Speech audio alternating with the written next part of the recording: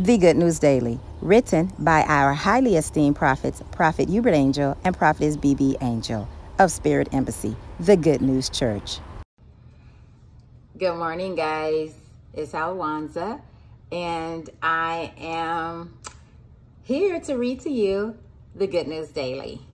Now, let's see what our prophet says. Our prophet, Prophet Uebert Angel and Prophetess BB Angel has in store for us today through the beautiful, freely given Good News Daily. All right.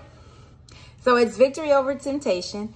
And our text is coming from 1 Corinthians chapter 10 and verse 13. There hath no temptation taken you, but such as is common to man.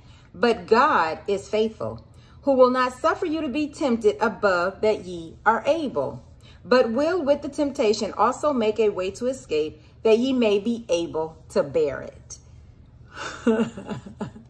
So not only will God not tempt you, but through your temptation, he will make a way to escape. That is perfect. That is a God that cares. So our prophets tell us our victory over every arrow of the enemy is assured. This is why the Bible calls our Christian walk the good fight of faith. It is a good fight because it is a fight we are winning. Who's on the Lord's side? like really, like Jesus is on our side and we already know he has triumphant over the enemy. Victory belongs to us. So with that being said, who's on the winning side? I am for sure. Like too excited to be on the Lord's side. And during right now in this world, it's only one winning side, one winning side, and it's the side that Jesus is on, the side that we are on. The prophets continue to tell us the enemy might not realize that it is a setup and waste his energy fighting you, but refuse to be moved. You know you're standing on a scripture, you have a scripture, you're standing on it, you're standing on the word. Do not be moved. With every temptation and trial you face, God has already made a way of escape. You are coming out of it simply out of it. There is no ifs, ands, buts about it. You are coming out of it. Just stand. Don't move. Know that you are the winner. Know that this battle is already won. God is on your side. Okay? There is no temptation or trial that is beyond your power to withstand. Ephesians 6. Just put on the whole armor of God.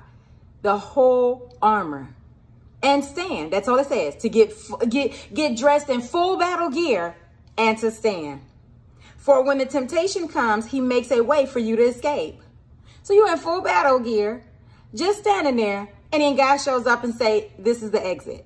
That is perfect. I love that. I love that visual I just have with that.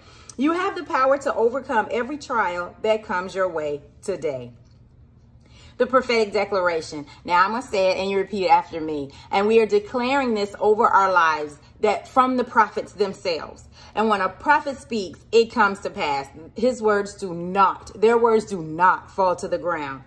So repeat after me. Sin does not have dominion over me.